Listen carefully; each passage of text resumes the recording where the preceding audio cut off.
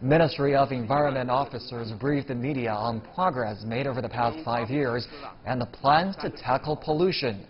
Minister Li Ganjie mentioned China does have environmental problems, especially in the air, and that the current air conditions are far from what people desire.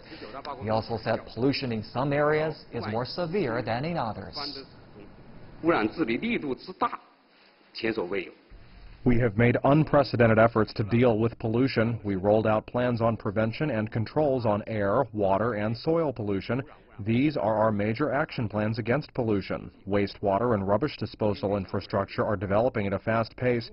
Emissions from fossil fuel vehicles have been effectively reduced. Meanwhile, we are carrying out environmental prevention programs in rural areas.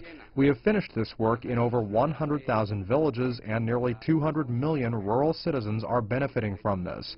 Major ecological protection and restoration work is also carrying on smoothly.